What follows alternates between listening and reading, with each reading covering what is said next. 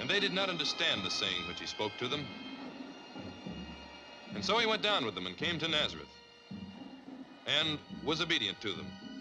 And his mother kept all these things in her heart.